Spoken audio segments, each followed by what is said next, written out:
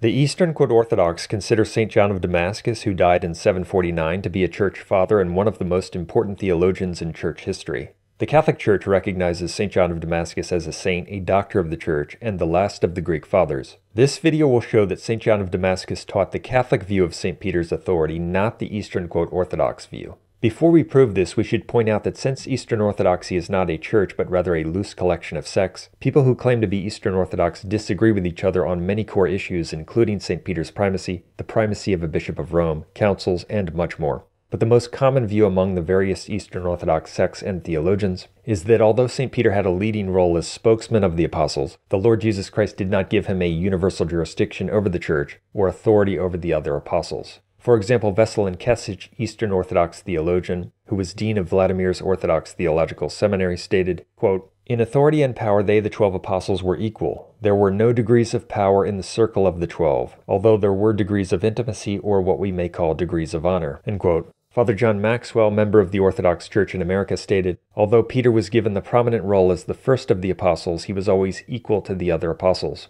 The patristic witness is that no father of the church has seen in the primacy of Peter any title of jurisdiction or absolute authority in church government. Eastern Orthodox historian A. Edward Siecienski stated Orthodox theology refused to grant him, St. Peter, any power not held in common by the other eleven. Now let's cite St. John of Damascus. We will see that he taught the Catholic position on St. Peter's authority, not the Eastern Orthodox one. You will almost certainly never hear these points from any supporter of Eastern Orthodoxy. In his homily on the Transfiguration, St. John of Damascus teaches that Peter had a unique authority and that it involved jurisdiction over the entire church. Referring to the Transfiguration, he states, quote, But why did he, Jesus, take along Peter and James and John? Peter, because he wanted to show him that the witness which he, Peter, had truly borne, was now confirmed by the witness of the Father, and to make credible his, that is, Jesus' own statement, that the Heavenly Father had revealed this to him, that is, to Peter and because as president he was also receiving the oars of the entire church. Here, St. John refers to St. Peter as the president who was receiving the oars or the rudder or the steering of the entire church. In the Greek, he uses passes tes ecclesias, which means of the whole church or of the entire church. According to St. John, St. Peter steers the whole church, which indicates that he possessed jurisdiction or authority to direct the entire church. St. John thus teaches the Catholic view of St. Peter's authority, not the Eastern quote Orthodox one. St. John of Damascus also repeatedly refers to St. Peter as praedros, here using the accusative form praedron, which means president or the one seated in the first place. This term signifies authority or jurisdiction over the church. We discussed the significance of the term in our video on St. Gregory Nazianzen, and we will come back to it. The next passage from St. John of Damascus states, quote, the Master has appointed you, Peter, as director not of tabernacles, but of the church throughout the whole world. Your disciples, your sheep, the good chief shepherd has put into your hands. According to St. John of Damascus, St. Peter is the director or organizer of the church throughout the whole world. Let me repeat that of the church throughout the whole world.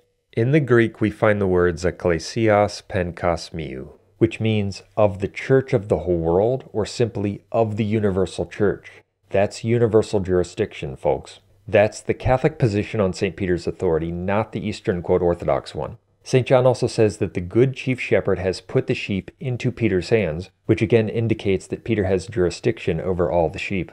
In light of these facts and the clear biblical evidence itself, one can see what a ridiculous lie it is when Eastern Orthodox heretics make preposterous and demonstrably false statements, such as the following nonsense. Every single statement that's said to Peter is also said to all the other apostles. In the next passage, which is about the Transfiguration, St. John of Damascus refers to St. Peter as the supreme head of the new covenant, and he compares him to Moses, the leader of the old covenant. Quote, Today, the supreme head of the new covenant, the one who proclaimed Christ as Son of God most clearly when he said, You are the Christ, the Son of the living God, sees the leader of the old covenant standing next to the lawgiver of both. Well, we know that Moses had authority from God over the people of Israel. See Numbers chapter 12 and Numbers chapter 16 for what happened to those who rebelled against that authority. St. Peter has a similar authority from Christ over the new covenant people of God, according to Greek father St. John of Damascus. The word translated here as supreme head is koruphaiatatos. It's important to consider the word. Koruphaiatatos is the superlative form of the word koruphaios. Koruphaios means chief or supreme or leader. It comes from koruphe, which means the highest point of the skull or the top of the head. Now, when you have an adjective, for example, the word fast, the comparative form of that adjective would be faster. The superlative form of fast, which expresses the highest degree or grade, would be fastest. Likewise, with the adjective tall, the comparative form would be taller, and the superlative form would be tallest. Now, the word that St. John uses about St. Peter's position, koruphaiatatos, is the superlative form of koruphaios, which, as we said, means chief or supreme or leader. St. John is thus saying that St. Peter is the chiefest, or the supremest, or the topmost in the church. That indicates that while there are various heads in the church, namely the other apostles or bishops, there is one supreme head, St. Peter. St. John's description of St. Peter as koruphaiatatos once again shows that he held the Catholic position and that he directly contradicted the heretical Eastern Orthodox one, which claims that no one apostle was above the others in authority. Christ is said to be the invisible head of the church, while his vicar, St. Peter, was the visible head after the resurrection. True successors of St. Peter as bishops of Rome, that is, true popes, assumed the same office. In the next passage, St. John speaks of St. Peter receiving the keys in a unique way. He says that Christ, quote, appointed you keyholder to the kingdom of heaven, who bestowed on you the binding and loosing of the means of correction, end quote. St. John singles out St. Peter and refers to him in a unique way as the keyholder to the kingdom of heaven. All the apostles are promised the power to bind and loose in Matthew 18, but only St. Peter was promised the keys in Matthew 16. For why these two passages considered together further prove Catholic teaching on the papacy, we want to play a very short section from one of our other videos. Matthew 16:19, considered in conjunction with Matthew 18:18, further demonstrates that St. Peter, the first pope, was given jurisdiction over all the apostles and the entire church. This also powerfully refutes the position of the Eastern Orthodox. Matthew 16 is well known. There Christ promises to give St. Peter, the first pope, the keys of the kingdom and says, Whatever you bind upon earth shall be bound in heaven, etc. But the Orthodox will often say, Look at Matthew 18:18, where Christ says the same thing, they claim, to all the apostles. By the way, Jesus gave the whole college of the apostles the ability to remit and retain sins and to bind and loose. Right? It's not just those who, it's not just Peter. You didn't give this to Peter and then tell Peter to give it to everybody else. Actually, that's in essence exactly what Jesus did, as we will see. Referring to the apostles collectively, Matthew 18:18 18 says, "Amen, I say to you, whatever you bind on earth shall be bound in heaven, and whatever you loose on earth shall be loosed in heaven." But far from contradicting the papacy, this verse actually just further illuminates the truth of the Catholic position and refutes the Eastern Orthodox one. Here's why. There's no mention of the keys in Matthew 18:18. 18. The keys are only promised to St. Peter as we read in Matthew 16. In Matthew 16, we also learn that people bind and loose with the keys. Let me repeat that. People bind and loose with the keys. I will give you the keys of the kingdom, whatever you bind on earth, etc. Peter alone is given that with which one binds and looses. So when all the apostles are given authority to bind and loose, as we read in Matthew 18 18, with what will they be doing that binding and loosing? With the keys, of course. But Peter alone is given them, Matthew 16.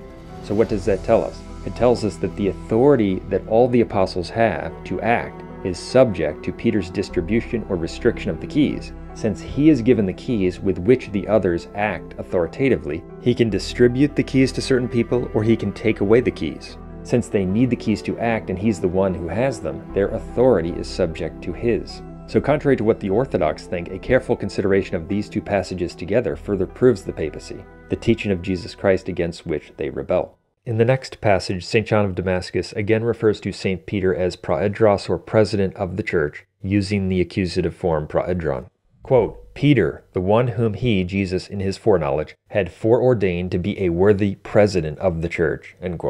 As our video on St. Gregory Nazianzen mentioned, praedros, which means president or the one who is seated in the first place, was a term applied to the position bishops held within their own diocese.